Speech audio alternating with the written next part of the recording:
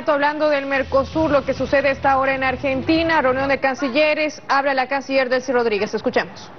Huyeron para otro sitio, desmantelaron el sitio de la reunión, negando el diálogo a dos países soberanos como Bolivia y Venezuela.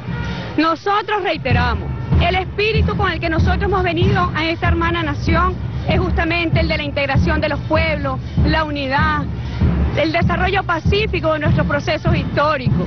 Es inconcebible que un policía incluso me haya golpeado, tengo que denunciarlo, tengo que denunciarlo, porque es inconcebible que cosas como estas estén ocurriendo en nuestra Suramérica. Es el legado de nuestros libertadores lo que nosotros estamos acá defendiendo. Y hemos venido justamente con el espíritu del diálogo, a defender a Venezuela, a defender a Mercosur. Y es inconcebible también que estos cancilleres confabulados de la Triple Alianza se nieguen a escuchar a Bolivia, o es que acaso también inventaron un proceso contra Bolivia del cual ni siquiera lo sabemos, que se nieguen a escuchar a la presidencia pro tempore del Mercosur como es Venezuela, un estado parte del Mercosur. Es realmente bochornoso lo que está ocurriendo, fuera de las normas de toda civilización ordenada, que cree en la paz, que cree en la comunicación entre los seres humanos, que cree en la igualdad entre los seres humanos. Realmente es preocupante que estas cosas estén sucediendo en el seno del Mercosur. ¿A quién beneficia este tipo de situaciones, canciller? Lo hemos dicho, beneficia al mandato de los imperios, beneficia al mandato del norte, que quiere imponer el modelo neoliberal, que pretende imponer a través de los mecanismos de los tratados de libre comercio, quiere imponerse por sobre los pueblos, quiere imponerse por sobre las plataformas productivas de nuestros países, quiere imponerse por sobre nuestros trabajadores, por sobre el Mercosur social.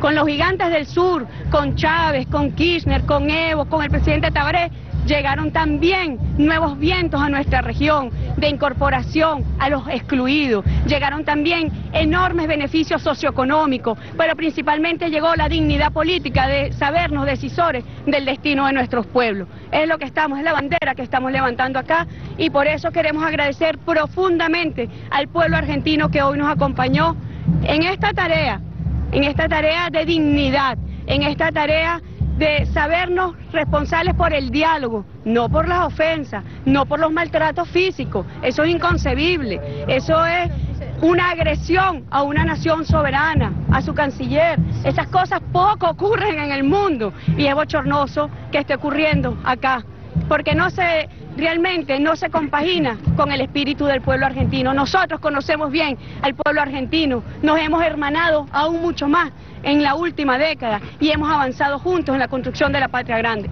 Y sabemos que el pueblo argentino no es las expresiones de los órganos de seguridad golpeando a un canciller. Sabemos que el pueblo argentino no es la intolerancia que prefiere taparse los oídos y huir a escuchar a compañeros de otros países. ¿Es casualidad, que sean dos países del ALBA los que no se le permitió entrar a la reunión? Bueno, es lo que hemos venido denunciando de la, intolerancia política e ideológica, no reconocer al diferente, querer imponer al diferente su propio modelo.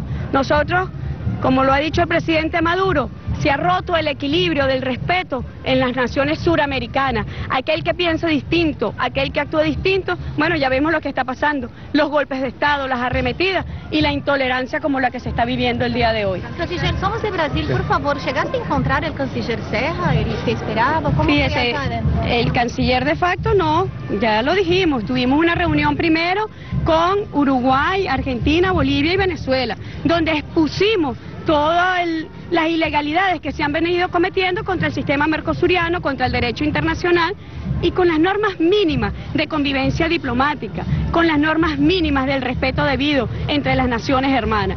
Realmente es preocupante lo que se viene, lo que viene ocurriendo y nosotros, bueno, nuevamente agradecemos a Bolivia. Bolivia es un estado que está en proceso de adhesión y es realmente preocupante todo lo que se ve porque ¿dónde queda el principio de seguridad jurídica cuando un grupo de delegados, un grupo de cancilleres confabulados pueden torcer, como ya dijimos, la voluntad de los tratados fundacionales? Sin embargo, nosotros vamos a persistir, nos reservamos las acciones de lo que hoy está ocurriendo acá, como lo hemos denunciado, es una convocatoria ilícita que se ha hecho al Mercosur porque es Venezuela, en ejercicio de la presidencia pro tempore, quien tiene la facultad para convocar una una reunión de esta naturaleza. Ayer, ¿qué le refirieron Nino Boa de Uruguay? Eh, sobre todo porque recién re refería a Tabaré Vázquez como estos nuevos vientos que, que se habían eh, generado junto con Chávez, con... Ellos están invocando una, un supuesto incumplimiento, que realmente nosotros hemos demostrado que Venezuela ha incorporado el 95% del acervo normativo del Mercosur. Pero además de esta incorporación, en apenas cuatro años, lo que no han logrado países en 25 años,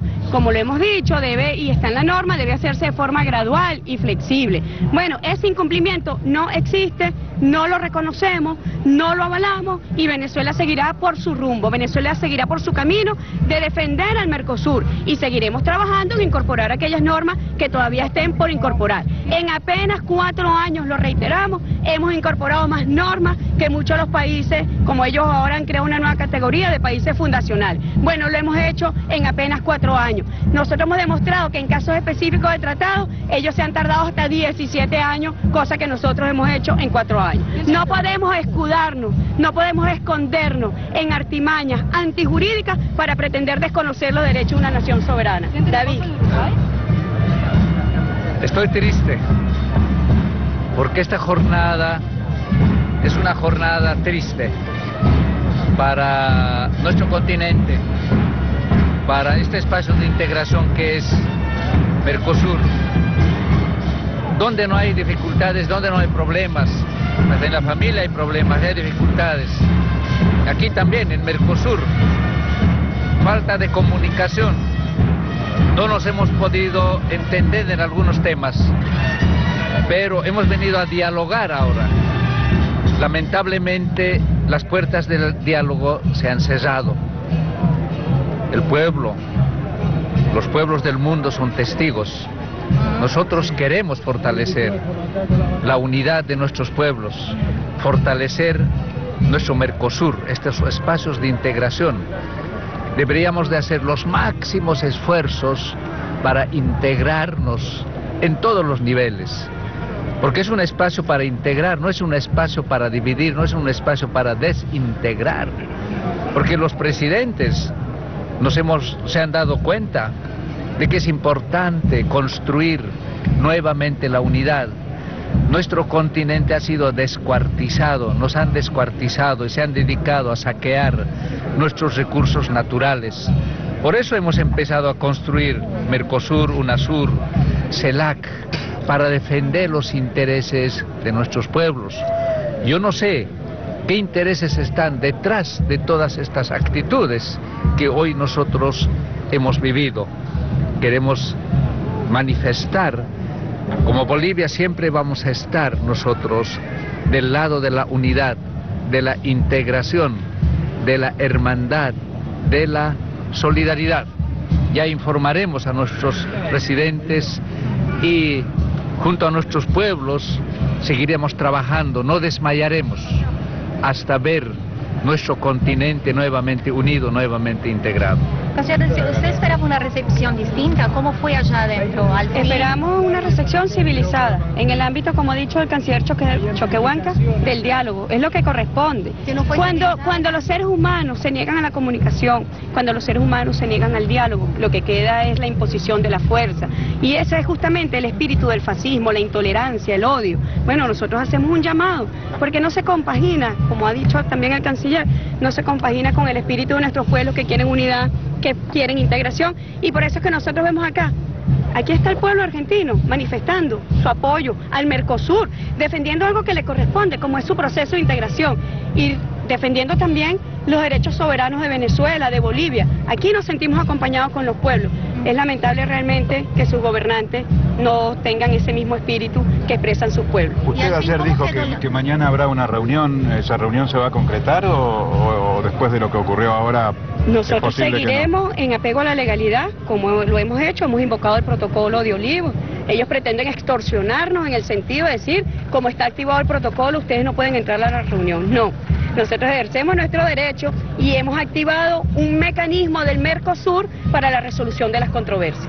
Gracias. ¿Usted va a volver a Venezuela hoy o mañana? Bueno, eran las declaraciones desde Argentina de la canciller de Venezuela, Delcy Rodríguez, también